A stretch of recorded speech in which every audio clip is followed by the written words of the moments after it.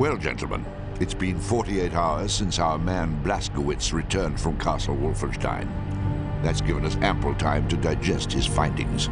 Findings which are, to say the least, astonishing. That's an understatement, sir. The question I'm putting to you all now is this. What are the Nazis really up to? Well, sir, to put it bluntly, I don't think we know enough to answer that question. Really? Uh, don't get me wrong. We've learned plenty about their capabilities. That alone scares the hell out of me. Here, here. But, Yes, Jack? well, there are two things that still bother me. Exactly what is this dark night they all seem to be so interested in? Well, what did our research come up with? Nothing. A complete blank. Well, it's obviously more of their jiggery-pokery raising the ghoulies rot. What's the second thing, Jack? The second thing is Death's Head. Now, here we have probably the single most dangerous figure in the entire Third Reich, and still we don't have a clue about his connection to all of this. Death's Head. Haven't our sources placed him at the secret rocket base in Katamarundi? Well, that's correct. In fact, as luck would have it, our man Blazkowicz is headed there now. He is? Yes. His orders are to infiltrate and sabotage the entire V weapons complex. With any luck, he might even get his hands on the latest experimental Cobra. The Cobra rocket plane. The very one. That's exciting news, sir. So, uh, what would you say, Jack, to my instructing our man to keep his eyes and ears open for any links to projects involving the uh, paranormal? I would say that was an excellent idea, sir.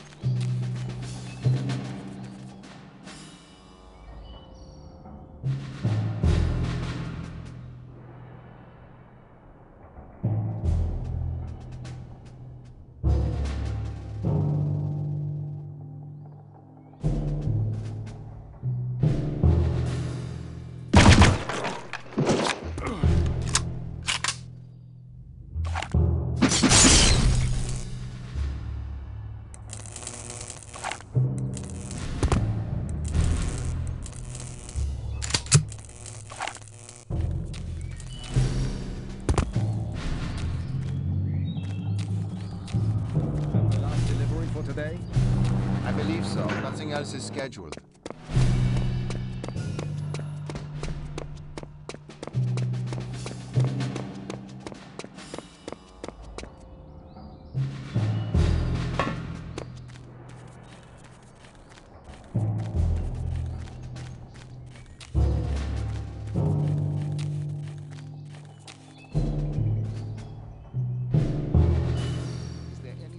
special to report, Corporal? Well, sir, about three hours ago, a general's car with a full escort came flying through here. Then, about an hour and a half later, they left.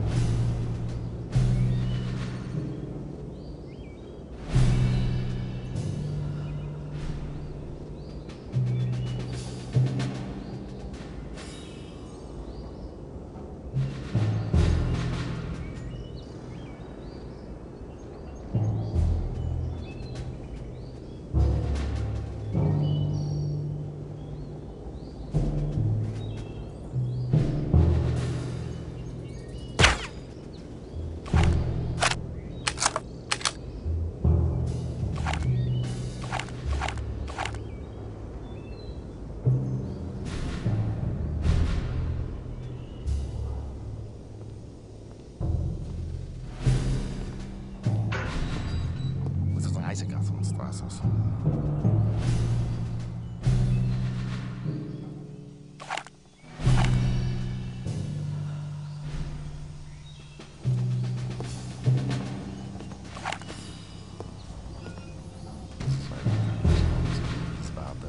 Israel.